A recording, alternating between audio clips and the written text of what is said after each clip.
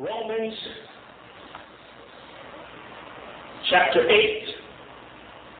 Very familiar portion of Scripture to most born again believers. Romans chapter 8. We're going to begin at verse 1, and uh, I'm going to be reading today from the King James, good old fashioned King James, okay? Romans chapter 8, beginning at verse 1, and if we would all stand in honor of the reading of God's Word.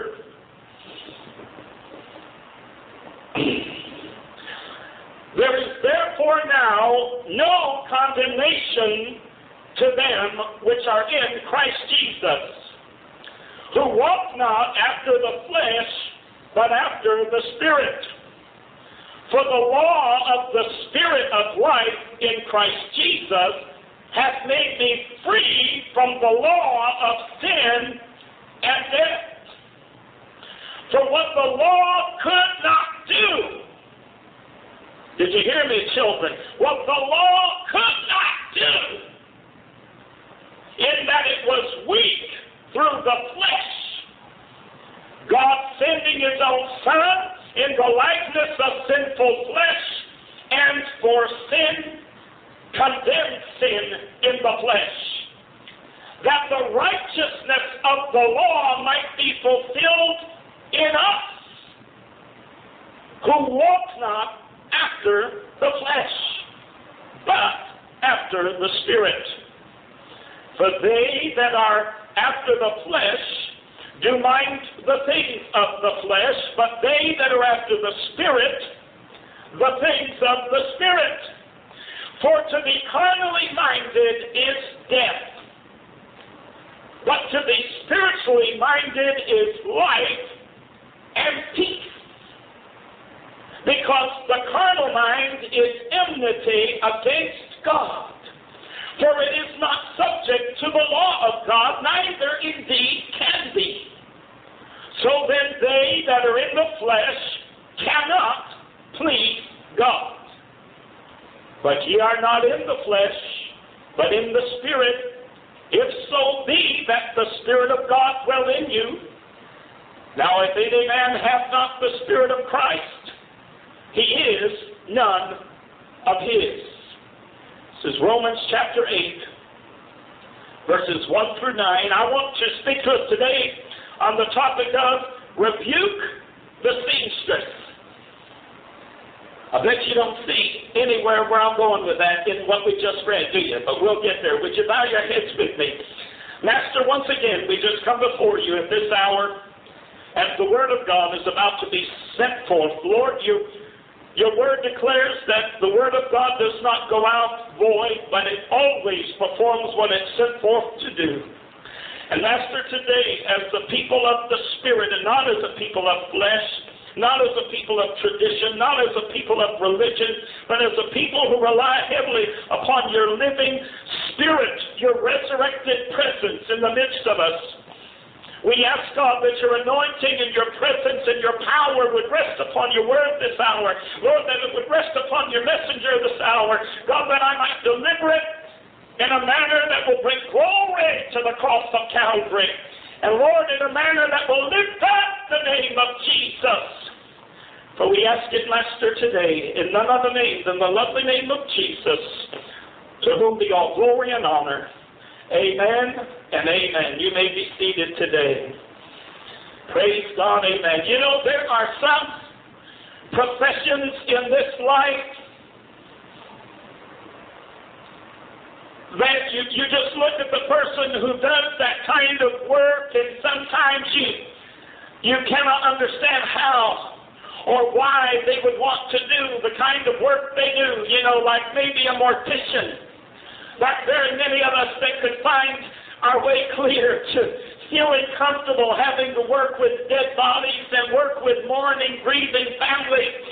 And uh, there are those that work in EMS who uh, go out to accidents where people are miserably, horribly maimed and injured and bruised and dying and dead, and they have to pick up the pieces and try with all of their knowledge and might to try to put things back together again.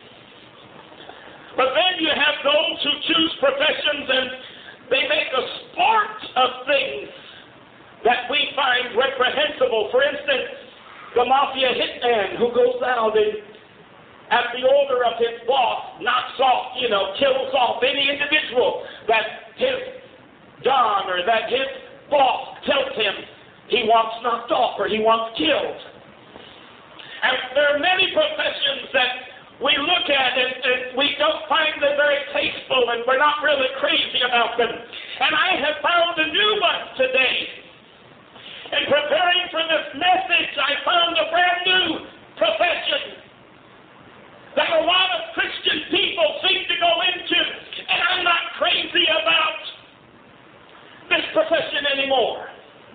I remember when I was working as Jiggle, the Christian clown, in children's ministry in the Assemblies of God years ago, I had to hire one of these people. She looked okay. She looked harmless enough. I think she might have been a good one. You know, every once in a while you sneak in a good one. But I needed a new costume for Jiggle, and I designed one, and I had it all drawn on paper how I wanted it made, and I even went to the local store, which at the time, I can't remember whether it was King's or Ames or what it was, but bought some fabric. I had the material to give this lady, so all she had to do was put it together, you know, and, and figure it out. But that's her job. She's a seamstress. And you say, well, Brother Morrow, what in the world's wrong with a seamstress? How can you find anything wrong with a seamstress? I'm going to explain to you momentarily, but children, there are some things that do not need to be sewn. And there are a lot of people in churches today that are trying to sew up something that God Himself tore down. You hearing me now? Amen. Now listen, we, as we were reading our text today, it's interesting that the Apostle Paul what the law could not do. He didn't say what the law did not do. He said what the law did not do. It was impossible. Why? Because the law relied upon the efforts and abilities of human beings. That's why the law was weak in the flesh and incapable of doing for us what needed to be done. And that is also why God revealed himself to us in our own fallen, sinful state of existence so that he could do in the flesh what the law could not do. Hallelujah. Whew, that's an exciting thought. But then I see something for all of us in this portion that we read today in verse 6 that Paul admonishes us for to be carnally minded is death, but to be spiritually minded is life and peace. Peace. Boy, there's a word. How many people run through life? How many people will fill up the bar rooms along Cedar Springs this evening because they're not looking for a buzz, but they're looking for peace? Amen. Peace is something. When it comes time for you to face your grave, children, I've got news for you. You're going to wish you had peace. There's a lot of people that think that life is for the living and they don't give any thought to the reality that we will one day face the righteous judge. Amen. We will one day stand before God. They don't want to deal with that reality. They don't want to deal with that. And the sad thing is, when the hour of their passing comes, they'll pass it with terror and fear and with teeth. I remember laying in my hospital bed three years ago. I honestly, I'll be honest with you, I don't remember anybody ever. It, it, so, so much of it has kind of been washed from my memory for a variety of reasons. But mom talked to me about it and she said, Do you remember me saying to you, Are you ready? Didn't you ask me? Laurel did. Or am I afraid? And what did I answer?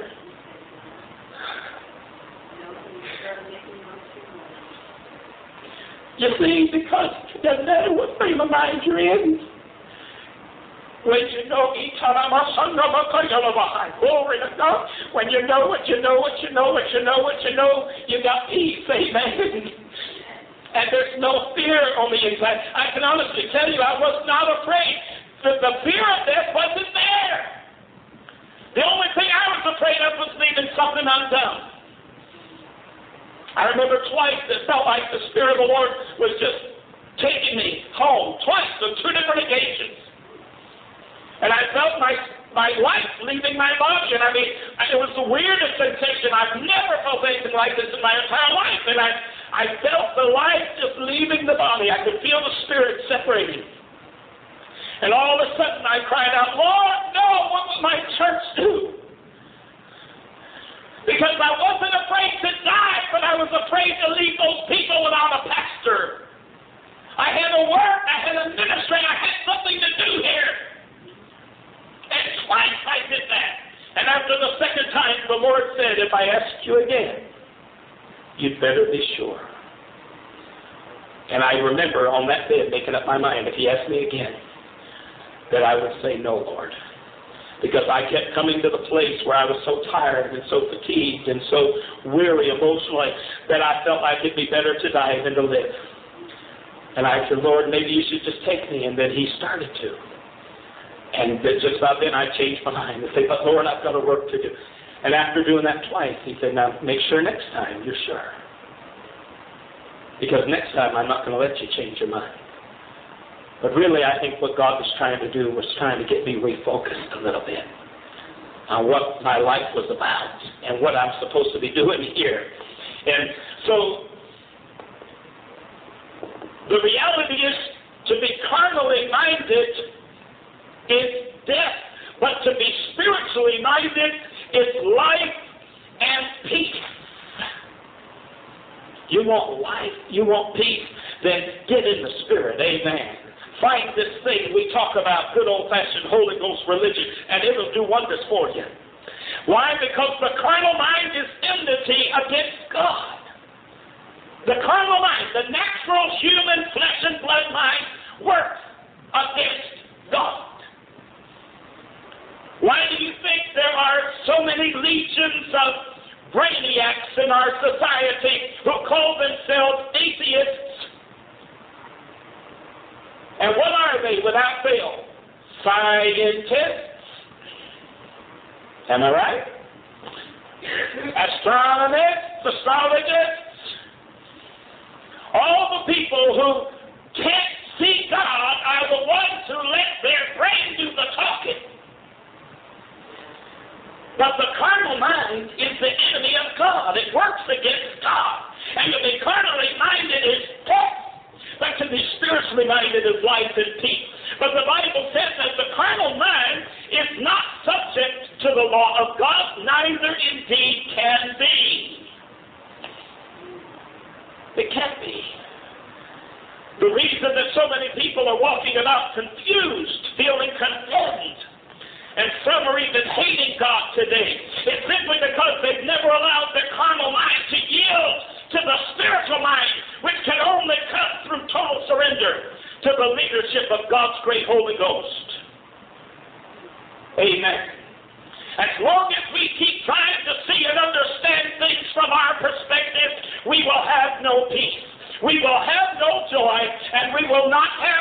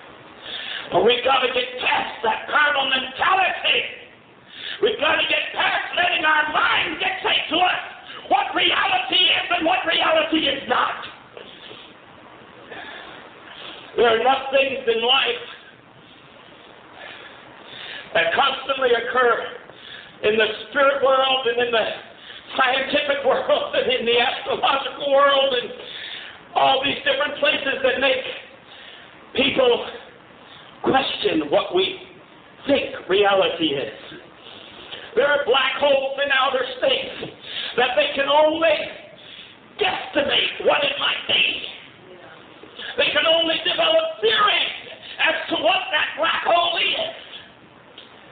Because nothing can get close enough to it without being sucked into it. And they, they don't have any data, they don't have any first-hand experience. Children, you gotta get out of the carnal and get into the spiritual. You gotta quit thinking in your own mindset and let this mind be in you, which was also in Christ Jesus. Amen. Hallelujah. Now, I still haven't gotten to why I want to rebuke the seamstress.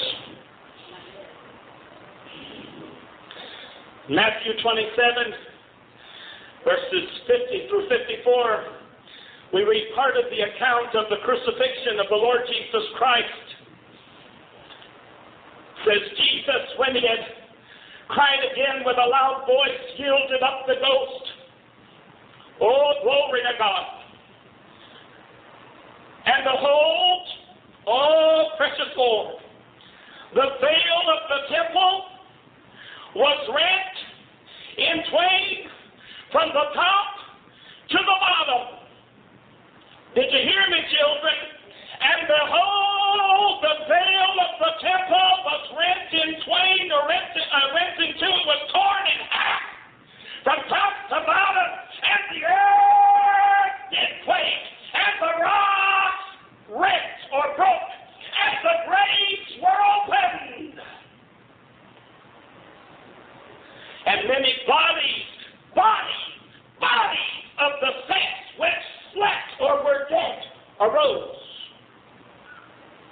and came out of the grave after his resurrection and went into the holy city and appeared unto many. That's after the resurrection. You see, when Jesus, woo, I'm going to shout a little today, okay? When Jesus said, It is finished. Hallelujah. Oh God, the hand of God, you see, on the cross, God was satisfying a contract that He had made with humanity. But upon speaking the word, it is finished.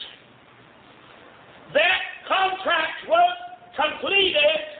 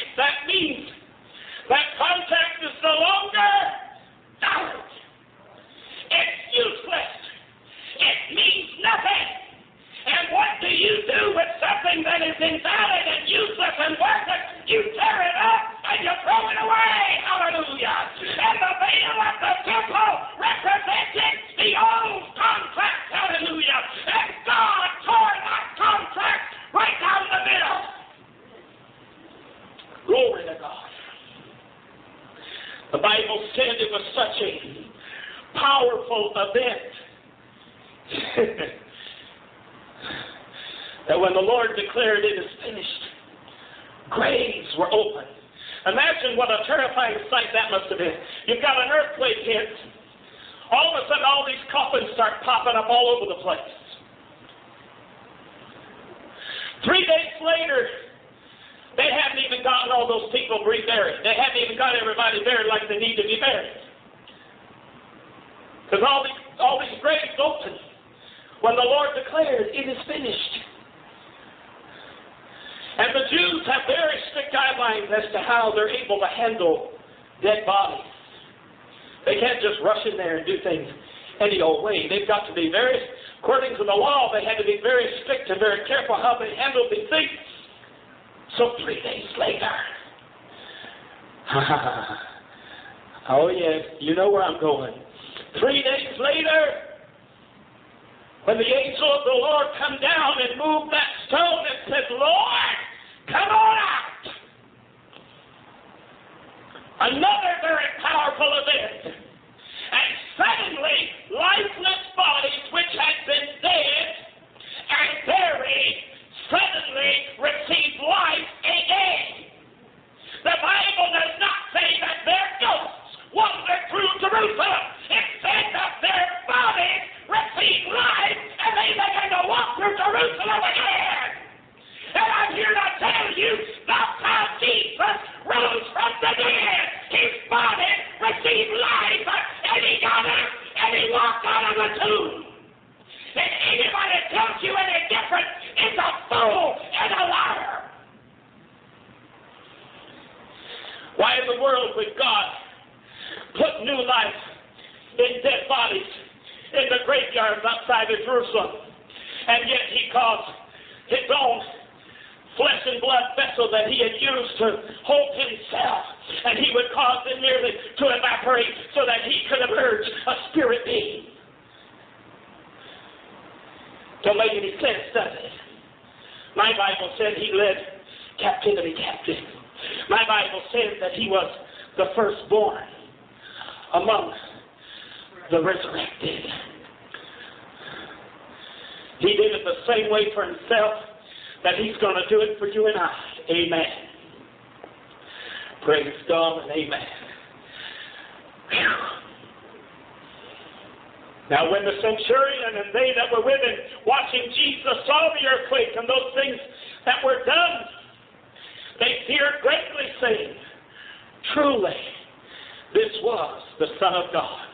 Honey, when you see an earthquake, when somebody says three words, and all of a sudden the sky is blackened and you hear thunder, and the earth begins to shake, and graves begin to spew coffins out all over the place, I've got news for you. It's pretty easy to figure out that maybe, just maybe, you have just crucified Messiah. Maybe, just maybe, the man on that cross was more than you thought he was. In John's account of the same event. John chapter 19, verses 28 through 30. After this, listen carefully.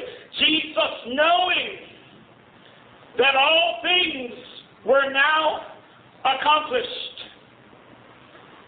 Jesus, knowing that all things were now accomplished, that the scripture might be fulfilled, meaning what? Jesus, knowing that everything was done to fulfill every iota, every portion, every part of God's Word. He wouldn't leave an earth till it was.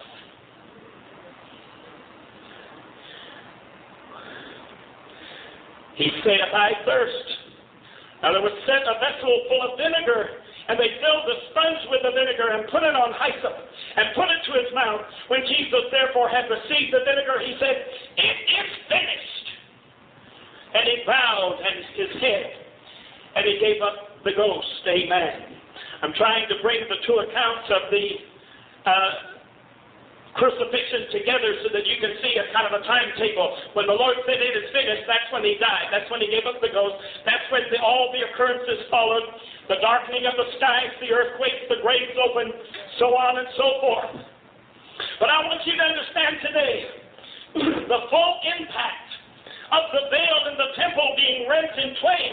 In Hebrews chapter 9, verses 1 through 7, the Apostle Paul writes, Then verily the first covenant for the first contract had also ordinances of divine service and a worldly sanctuary. For there was a tabernacle made, the first wherein was the candlestick and the table and the showbread, which is called the sanctuary. And after the second veil, the tabernacle which is called the holiest of all, which hath the golden censer, and the ark of the covenant overlaid round about with gold, wherein was the golden pot that had manna, and Aaron's rod that budded, and the tables or the tablets of the covenant. And over it the cherubims of glory, shadowing the mercy seat of which we cannot now speak particularly. Now, when these things were thus ordained, the priests went always into the priests went always into the first tabernacle, accomplishing the service of God. But into the second went the high priest alone, once every year, not without blood, meaning he had to carry a sacrifice, which he offered for himself and for the errors of the people. Children, the truth today is this God created an imperfect device which we call the law. The real purpose of that device was to help humanity to realize that we needed God. That was the whole purpose of the law, in a nutshell. Now, then, God Himself being perfect in every way, fulfilled the terms of that contract, the law,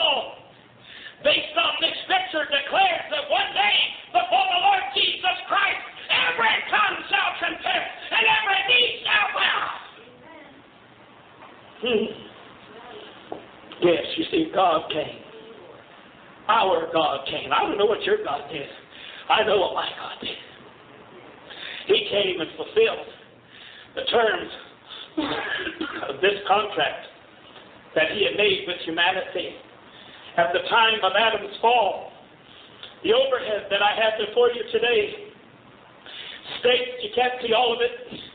I didn't realize it'd be so big. But it states that this is a contract between the Lord God Jehovah and humanity. And it states, having failed to honor the terms of our earlier agreement in the Garden of Eden, upon the successful completion of one man's sinless and blameless life, humanity having provided sufficient evidence of its desire to spend eternity with me, I, the Lord God Jehovah, will remove the veil. Hallelujah. that separates the human race from myself. Glory to God. And it was Jehovah God who came and did just that. Hosea 13 and 4. Yet I am the Lord thy God from the land of Egypt, and thou shalt know no God but me, for there is no Savior beside me. Oh, but now listen to this, children. Listen to what the Apostle Titus writes in Titus. Titus 2, 11 through 14. For the grace of God that bringeth salvation hath appeared to all men, teaching us that denying ungodliness and worldly lusts, we should live soberly, righteously, and godly in this present world, looking for that blessed hope and the glorious appearing of who? Who's coming, Elvis? Looking for the blessed hope and the glorious appearing of the great God and our Savior Jesus Christ. Hallelujah. He is both one and the same. Glory to God. He's neither just God nor just Savior. He's both. Hallelujah. God didn't send somebody to do the work of the Savior. He came and saved for himself. Glory to God.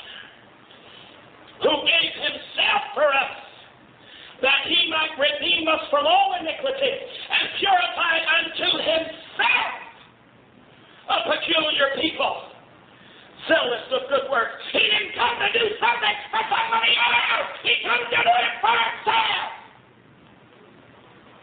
Hallelujah. All in one instant in time. The body that had played host to God Almighty hung lifeless on the cross of Calvary. A perfect and complete satisfaction of the contractual obligations humanity had with God. Did you hear me? I didn't say the contract that God had with uh, humanity. No, it's the contractual obligation that humanity had with God. That's why God had to become human to satisfy it because he was doing it on our behalf.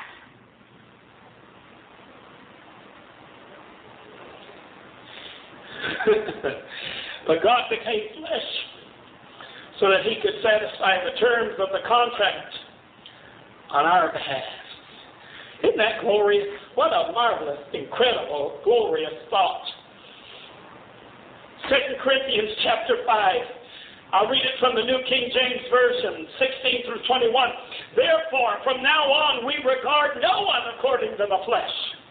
Paul says, even though we have known Christ according to the flesh, yet now we know him thus, no longer. He said, yeah, we knew the Lord as a man, but once all this thing was finished, and now that he's where he is and wherever we are, now we know who he is and we don't look at him the same way. Our whole position has changed. Amen. They weren't looking at him the same way they were when they could look at him as a human being. No, God, no. But listen to what Paul goes on to say. Therefore, if anyone is in Christ, he is a new creation. All things have passed away. Behold, all things have become new. Now, all things are of God who has reconciled us to himself through Jesus Christ and has given us the ministry of reconciliation. That is, or that is to say, that God was in Christ, reconciling the world to himself,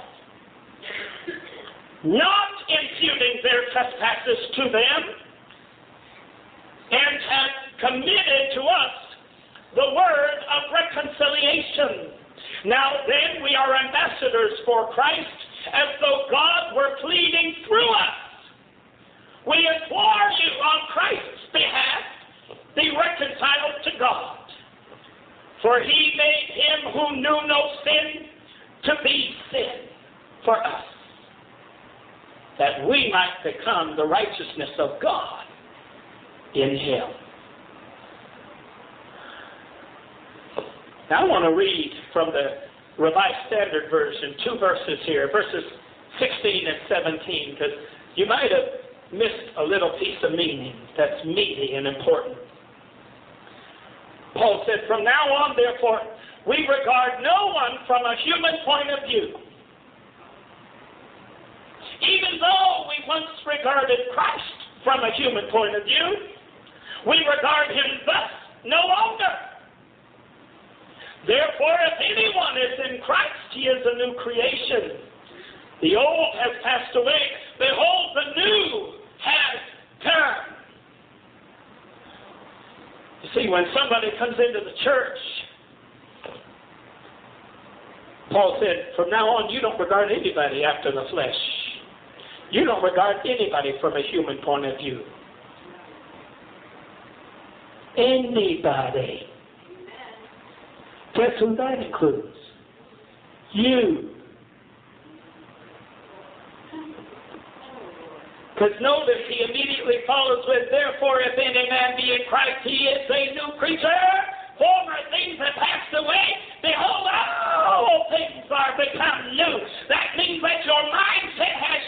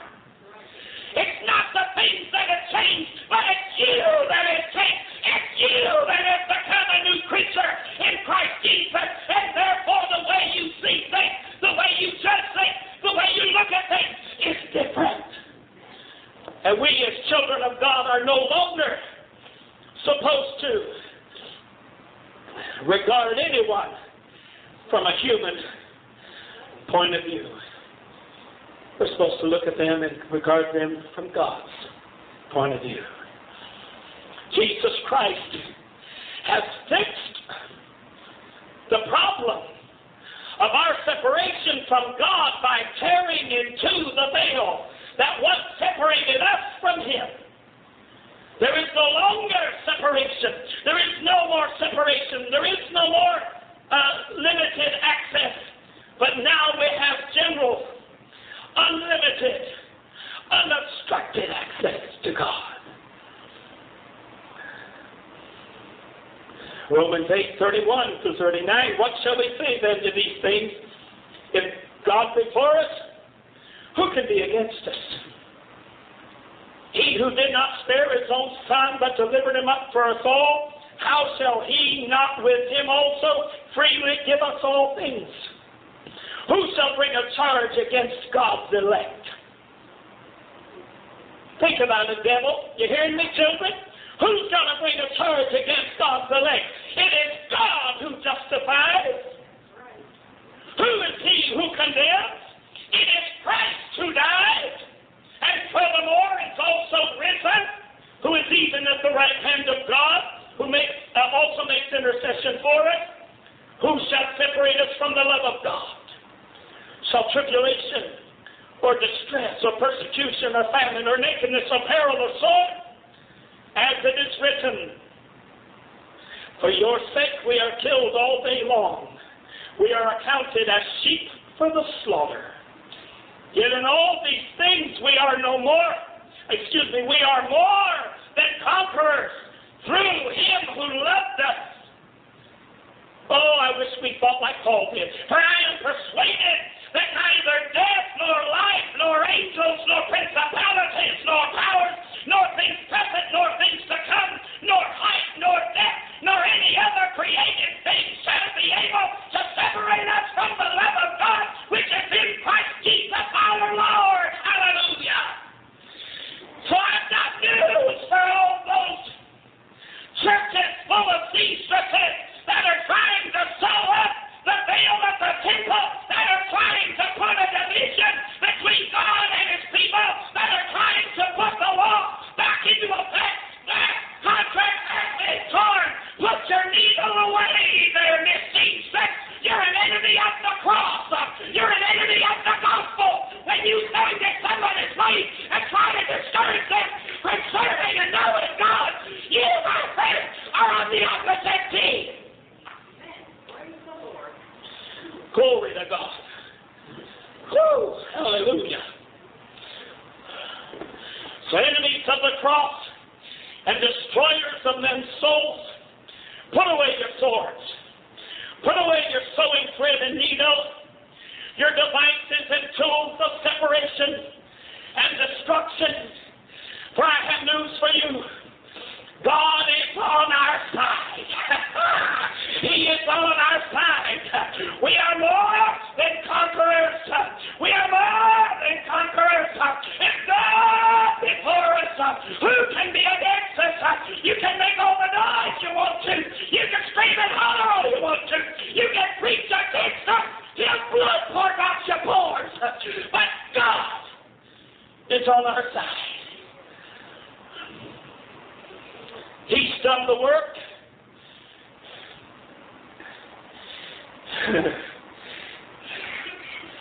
and you cannot nullify it. He tore that contract, and honey, they don't make enough thread, and they don't make a needle big enough for you to go against God and put that veil of separation back up.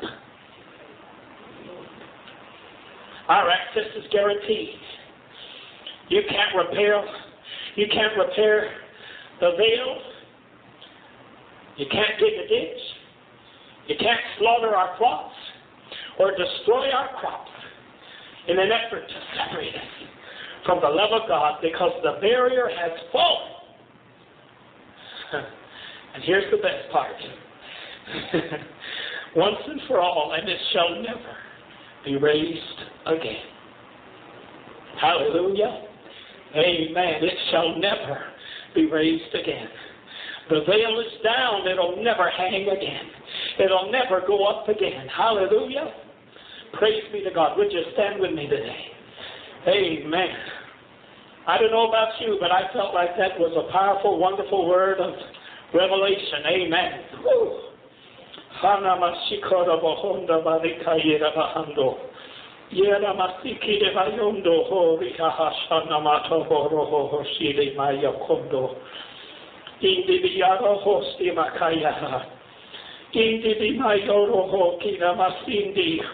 Yando.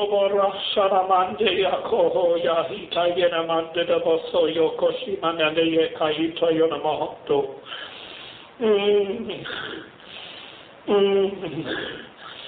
Mm. Oh, how long will they not see, saith the Lord, when I have so vividly revealed myself to them? How long will they choose to close their eyes and not see? For I declare unto you the brightness of my glory is so great that even with your eyes closed I am able to reveal myself to you and you cannot deny it. For I am God. That is my name. I am Jesus. I declared myself to Paul. And I declare myself to you this hour. Know me this day, and know peace. Know me this day, and all salvation. For I am God, saith the Almighty. Glory to God in the name of Jesus. In the name of Jesus. In the name of Jesus. in the name of Jesus. Glory to God in the name of the Lord. Praise God, amen. Praise God, amen. The veil of the temple has been rent, and God wants you to know today who He is. He tore that curtain down. He doesn't have to hide.